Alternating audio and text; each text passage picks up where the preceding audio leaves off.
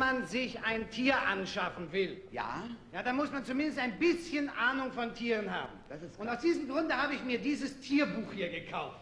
Das ist klug, was? Das Buch. Nein, ich meine die Idee, sich ein Tierbuch zu kaufen, denn da steht ja alles drin, was man über Tiere wissen muss. Zum Beispiel Tierzucht, Tierpflege, Tierkrankheiten und so weiter und so weiter, ja. Ist ja klar. Naja, Miss Kind, Sie wissen doch, ich habe doch einen Vogel. Ja. ja, das weiß ja jeder, nicht? Bitte! Ich meine, Ich meine doch einen richtigen. ja, und was, für- was haben Sie eigentlich für ein Vögelchen? Ich habe einen Harzer Roller. Bitte, was haben Sie? Ich habe einen Harzer Roller. Ah ja. Äh, sprachen wir nicht eben vom Vogel? Sag mal, kennen Sie denn keinen Harzer Roller? doch, ja, ja. So klein und gelb? Ja, ja, ich mag ihn nicht. Der riecht doch so. Bitte? Der riecht doch Naja, nicht. wenn er frisch ist, riecht er noch nicht so zugegeben. Das heißt nicht frisch, das heißt jung. Also, gut, das ist klar, ja. Gut, ich hab's nie gehört, aber wie Sie wollen. Also der, der Käse ist nicht frisch, er ist jung. Wer redet denn hier von einem Käse?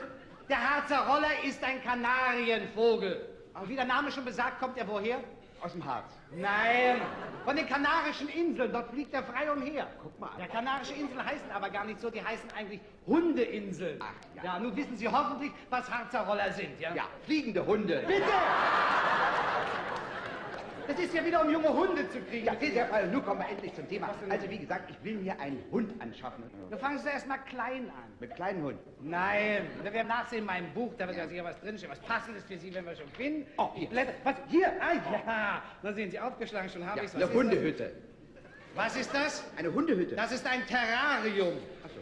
Und was kommt da rein in das Terrarium? Ein Terrier. Nein, da kommt rein zum Beispiel ein Goldhamster. Ein Goldhamster. Goldhamster? Goldhamster, ja? Aber teuer. Wieso teuer? Zwei bis drei Mark das Stück. Ja, das sind aber nicht die echten. Bitte. Also nun lesen Sie erst mal nach, was hier steht über den Hamster, ja? Bitte schön. Also, Taramci bufinace Kaluppe. was ist denn jetzt los? So rum. Bitte, der Hamster. Ich dachte, es ist lateinisch. hier. Na gut, also. Hier, andere Seite, da fängt an. Da ist er. also. Der Hamster ist bösartig und übellaunig. Sehen Sie mal an, Herr Prall, der auch. Nicht nur... Bitte! Äh, ähm, Also sehen Sie sich erst mal den Hamster an. Gefällt er Ihnen? oh, gefällt mir gut. Gefällt Ihnen gut, ja? Was, Hübsch, hübsch. was fällt Ihnen da zum Beispiel am Kopf auf? Am Kopf fällt mir nichts auf. Na gut. Äh, Doch, natürlich, ja, fällt mir auf. Zwei Ohren fallen mir auf. Nein, Nein, Ohren fallen mir nicht auf. Gut, bitte, bitte. ich meine doch die Hamstertaschen. Die Hamster... Na, wo hat er denn die Hamstertaschen? Wo hat der denn die Hamster? Na nur. Irgendwo der die Hamster... Vielleicht hat er sie vergessen, oder was? Bitte. Die hat er am Kopf. Und wie sagt man dazu? Der hat was am Kopf. Ach was? Backentaschen. Backentaschen. Backentaschen, jawohl. Und was trägt er in den Backentaschen? Backware, oder? Donnerwetter, Und sowas will sich ein Hund kaufen. Ja, gern. Ich möchte bloß wissen, was für ein. Das kann ich Ihnen sagen. Diesen hohen, die, wie heißen die? Diese langen. Warten Sie mal. Ja, ja, acht Pfundländer. Diesen. Neufundländer. Na, auf einen Pfund mehr oder weniger kommt es ja wohl nicht an. Sag mal, kennen Sie sich überhaupt aus in Hunderassen? In Hunde, aber Herr Breit. Wenn der Jäger auf die Jagd geht, nimmt er was mit. Eine Flinte. Was denn noch? Noch eine Flinte. Wieso denn? Vielleicht eine Doppelflinte. Ich weiß nicht. Den Dackel. Eine Flinte für einen Dackel. Ja, mal, haben Sie schon mal einen Dackel schießen sehen? ganz selten. Ganz selten, Herr Breit. Wenn der Jäger auf die Fuchsjagd geht, Ja. ja, dann setzt er den Dackel auf die vierte. Ach, und darauf reitet der Dackel hinter. Ich sagte nicht Pferde, ich sagte Fährte. Fährte, ja. Nun passen Sie auf, plötzlich Ja. knackt es im Unterholz. Was macht der Fuchs, na? Was macht der Fuchs? Was macht der? Er schnürt plötzlich davon. Was macht der? Er schnürt plötzlich davon. Ah. Und was macht der Dackel? Der schnürt auch davon. Der schnürt sein Päckchen. Ich weiß doch nicht, was die Tiere da im Walde treiben. Was merkwürdig. Ihn packt das Jagdfieber. Ah, jetzt kriegt er auch noch Fieber. Da müssen wir, müssen wir mit ihm zum Arzt oder irgendwas. Aber doch nicht zum Arzt. Keine Krankheit? Das ist eine Krankheit. Aber eine richtige Tierkrankheit ist zum Beispiel die Tollwut. Ah ja, ja, die kennt. Tollwut kenne ich. Sondern Sie kennen immer alles. Tollwut kenne ich. Woran erkennen Sie denn die Tollwut? Ja, das, ähm, Na? Stechender Blick. Ja. Gereiztheit. Ja. Wutanfälle. Immer zu. Und übertragbar auf den ja, Menschen. das wissen wir ja, nicht? Bitte! Lieber Herr Harris, Lieber Herr wenn. Sie ein Tierhalter sind, dann müssen Sie ein bisschen Ahnung von Tieren haben. Ja, von, das ist wahr. von Tierkrankheiten. Das muss Denn man. der Tierarzt fragt ja nicht das Tier, er fragt Sie. Ja, stellen Sie sich vor, Ihr armer Hund würde eines Tages krank. Das ist nicht so schlimm. Gibt's ja Tierärzte, nicht? Geh zum Tierarzt, fertig. Der arme Tierarzt. Wieso? Waren Sie schon mal in der Tierarztpraxis? Nein, noch nie, aber wie ich Sie kenne, werden Sie es mir ja gleich erklären. Lerne ich wieder so viel von Ihnen. Ach, Sie wollen was lernen? Ja. Gut, schön. Wird ja auch höchste Zeit. Sie sind jetzt der Tierarzt? Der Tierarzt. Und ich bin? Der Hund. Nein! Ich bin das Herrchen. Das ja. Bitte? Das Herrchen. Ja, was gibt's denn da zu lachen, sagen Sie mal? Ist alles klar, Herr alles- Jeder Hund hat ein Herrchen. Jeder hat einen. So, und jetzt komme ich. Jetzt. Ja? Und Ja, Sie- Moment mal, Herrchen. Was denn nun schon wieder? Hat denn das Herrchen ein Hundchen?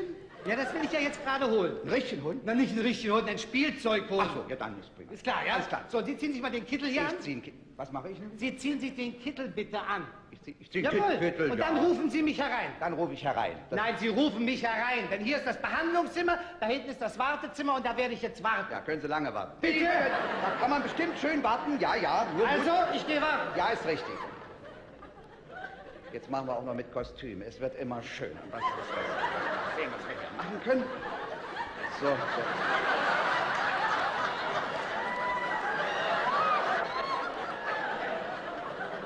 Das sind so die Kittel, die Herr Preil besorgt, nicht wahr? Das ist hier. Ach so, das ist, geht so. Entschuldigung. Das war was ich jetzt schick so, nicht? So können es.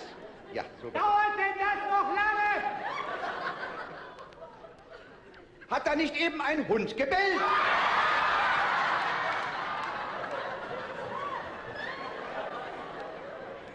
Ja, was sollte ich sagen? So, nun mal rein hier.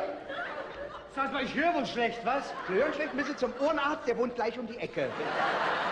Das heißt der Nächste, bitte. Ja, das ist der Nächste. Die anderen wohnen viel weiter. Wenn Sie mich hereinrufen, heißt das der Nächste, bitte. Ach. Ja, und dann müssen wir beide uns erstmal bekannt machen. Ich kenne Sie doch. Sie sind das Herrchen Peilchen. Bitte! Das gehört doch zum Spiel. Ah ja. Ich komme noch mal. Der Nächste bitte nochmal. Guten Tag, Preil. Guten Tag, Herr Rich. Mein Hund ist krank. Ach ja, auch das ist nicht so schlimm, wie, wie ich. Was ist nun wieder? Sagen Sie, was soll denn das? Was ist denn? Was ist denn? Warum haben Sie die Knöpfe hinten? Achso, ich, ich stehe verkehrt rum, Herr Freund. Möchten Sie sich bitte erstmal vernünftig anziehen? Entschuldigung, Preis, es war vorhin so eilig und das Wartezimmer voller Hunde. Ah. Also es ist ja alles ganz schlimm. Aber jetzt werden wir, jetzt wird's werden. Alles wird gut, Herr Preis. Nicht Fertig. ist gleich geht's. Ist denn das die Möglichkeit? Entschuldigen Sie, hier fehlt ein Stück Stoff hier oben. Dann gucken Sie mal unten. Da fehlt auch ein Stück. Das ist äh, total verschnitten, dass Sie. Wo haben Sie denn den hier? Lassen wir ihn auf. Können wir nun endlich Jetzt anfangen? können wir endlich anfangen. Also, zum dritten Mal. Mein Hund ist krank. Zum dritten Mal. Und da kommen Sie jetzt erst? Warum kommen Sie nicht beim ersten Mal? Da hätte ich vielleicht noch helfen können. Jetzt ist zu spät. Wollen Sie bitte endlich untersuchen? Ja, bitte machen Sie sich frei. Der Hund ist krank. Machen Sie den Hund frei. Also bitteschön, Sie müssen doch als Tierarzt alles erfragen. Erst einmal die Anamnese. Ist klar. Bitte? Die Anamnese. Ach, der Hund heißt Anna. Wieso kommen Sie darauf? Fragen Sie nicht von Annas Nese? Anamnese heißt Krankengeschichte. Der Tierarzt muss alles wissen. Erst einmal, ja. Das ist ein Zwergpudel. Woher stammt er? Von den Zwergen. Aus welchem Zwinger? Aus, Dresden, aus dem Dresdner Zwinger kommt. Ist das Möglichkeit? Zum letzten Mal jetzt. Der Hund fühlt sich elend. Ach, Hundeelend. Er kratzt sich dauernd hinter den Ohren. Ja, der denkt vielleicht über sein Elend nach, nicht? Außerdem hat er dauernd seinen Schwanz eingeklemmt. Drum ist er auch so kurz. Bitte! Wenn ein Hund sich nicht wohlfühlt, dann klemmt er den Schwanz ein. Und sowas hilft? Ach Mensch!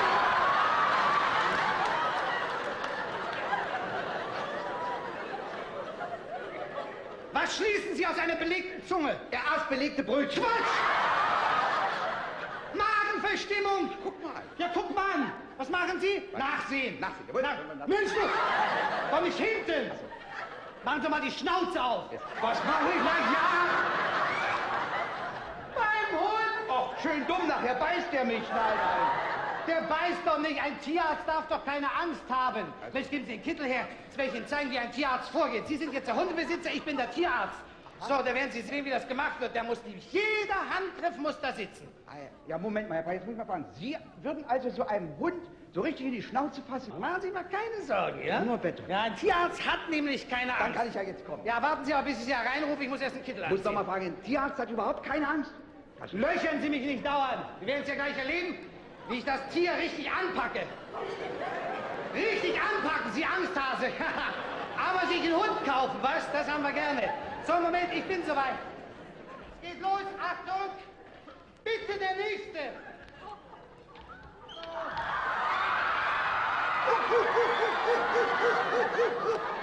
Oh.